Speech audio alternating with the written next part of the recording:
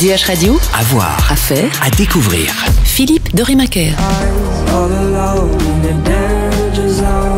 Voilà un morceau que vous devez tout doucement avoir dans l'oreille, celui de Blanche, City Light, découverte DH Radio depuis quelques jours. C'est avec ce titre qu'elle nous représentera à Kiev, à l'Eurovision, et c'est l'occasion pour nous de faire connaissance avec Blanche. Euh, Blanche, euh, on, on la connaît depuis euh, The Voice Belgique, mais euh, Blanche, il y a eu un parcours avant The Voice, j'imagine. Bah, avant The Voice, je faisais des vidéos sur YouTube, des reprises avec des amis ou seul. Est-ce que l'apport de The Voice, c'était uniquement la notoriété, ou est-ce que c'était à la fois la notoriété et le travail, la technique, les, les trucs qu'on t'a appris? Je pense qu'il y a des deux, ça faut pas, faut pas le cacher. C'est vrai que ça permet beaucoup de visibilité, etc. et que les gens nous connaissent et voilà. Ouais. Mais c'est vrai qu'au niveau du travail, ça apporte beaucoup de confiance parce que les coachs mettent vraiment en confiance. Moi, mes coachs c'était les Cats and Trees. Ils se font vraiment aller sur scène, euh, ils essayent de nous faire aller sur scène serein.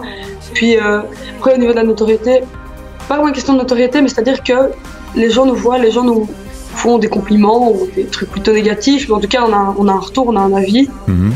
Et qui permet aussi justement soit d'avoir confiance en soi, soit on se rend compte qu'on n'est pas fait pour ça, mais bon, ça c'est plus grave. Euh, travailler avec quelqu'un qui fait les compositions comme Pierre Demoulin, travailler avec une maison de disques, c'est ça qui t'a amené vers des, des chansons plutôt euh, mélancoliques parce que City Light, c'est un côté quand même un peu, un peu sombre, un peu, un peu mélancolique, un peu intérieur. Non, j'ai vraiment un goût pour ce genre de musique, donc on, on va dire que je suis vraiment bien tombée avec Pierre parce qu'on était vraiment euh, sur la même longueur d'onde, on cherchait à peu près la, enfin, on voulait faire à peu près la- les- un truc dans un univers assez euh, similaire, et Pierre aussi est assez euh, propice, on va dire, à ce genre de, de style aussi, donc c'est très bien. Alors City Light, c'est le single, euh, il, est, il est sorti depuis quelques semaines maintenant.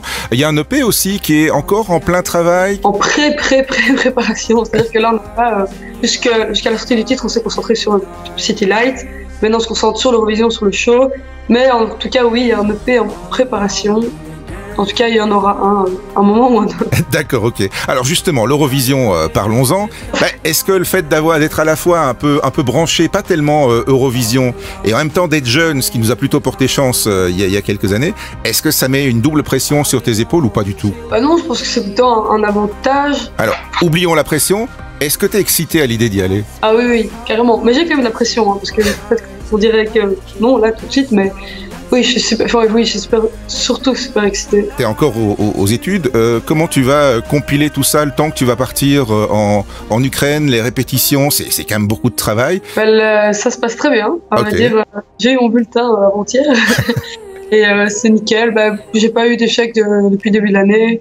Mes notes euh, sont, ouais, je suis assez fière. Bah, bon courage en tout cas euh, Blanche, bonne hum, comme on dit euh, dans, dans, dans le métier. Beaucoup de succès euh, à, à Kiev et après alors. Merci. Merci beaucoup, merci.